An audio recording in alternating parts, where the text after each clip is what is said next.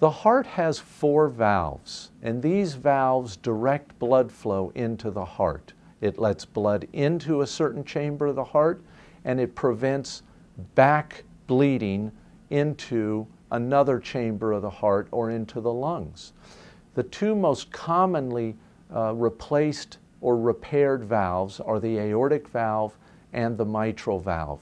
These are the left sided heart valves, and they produce a whole portfolio of symptoms, most commonly shortness of breath and fatigue. These valves can be repaired and they certainly can be replaced, but it requires open heart surgery.